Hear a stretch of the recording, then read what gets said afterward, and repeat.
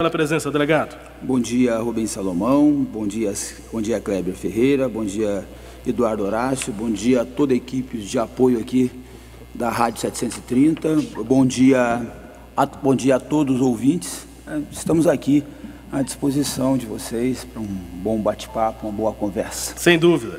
É, candidato, nós é, tenho perguntado a todos os, os candidatos qual a expectativa para a campanha é, e já vou emendar essa pergunta, o que, que o senhor espera dessa campanha até o dia 2 de outubro, mas também com a pergunta do ouvinte que nós já citamos aqui, o Divino Moraes já mandou o WhatsApp e pergunta como é que o senhor vai fazer, o que, que o senhor vai fazer para melhorar a guarda municipal, sem dúvida abordando o tema da segurança pública, que já é elencado como uma das principais necessidades, se não a principal da cidade de Goiânia. expectativa do senhor e o tema da segurança pública, a guarda municipal.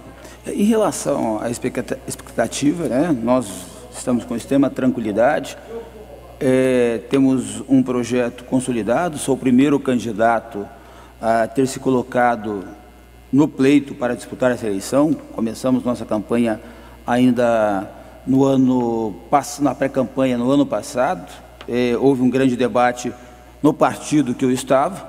Então, é, a gente está com muita tranquilidade, é, estamos, temos um projeto extremamente é, consolidado, estamos fazendo todas as fases dele, seja é, neste primeiro momento com a regularização da documentação, é, iniciamos já as caminhadas, estamos fazendo o preparativo do material, a indispensável estrutura de, um, de, um, de uma base, de um, de um comitê, iniciamos o uso das redes sociais, estamos participando dos eventos que nos permitem é, fazê-lo sem, é, sem atrapalhar o, no, o exercício do nosso mandato, já que eu não tirei licença.